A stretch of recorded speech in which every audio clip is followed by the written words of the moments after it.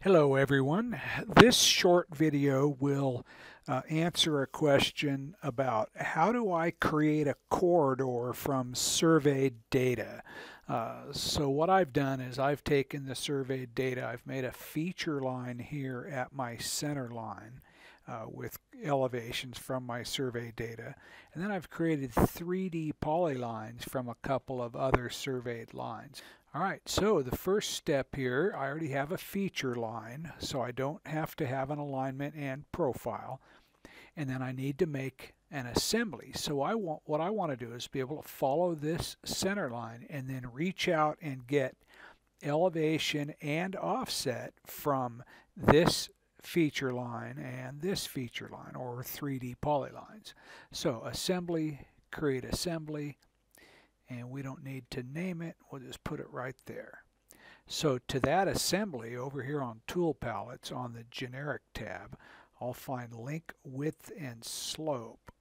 And then over here on properties, I can give it a default width, a default slope. I'll just say zero. Um, and let's give this P1 as a point code. And we'll pick there. I need another one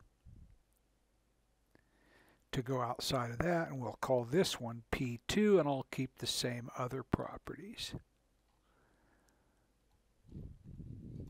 Okay, so now we're ready to create a corridor.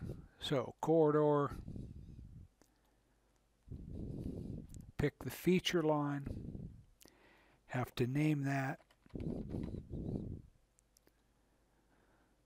Okay, so I'm using a feature line, which assembly, I only have one.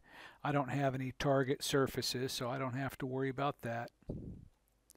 So now here's what's important though, is I need to come here for this region and target, and you'll see, okay, offset target on the right for that first link width and slope, which object, so feature lines, select from drawing.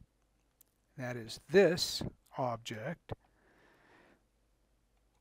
And then the second link width and slope needs to have an object to target. This is for width. And then we also have to specify how are the elevations controlled. And so we'll go back and we'll pick the same exact objects. So that's the first.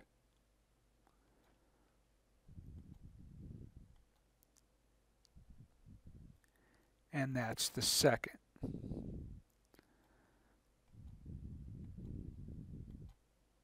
And you get this.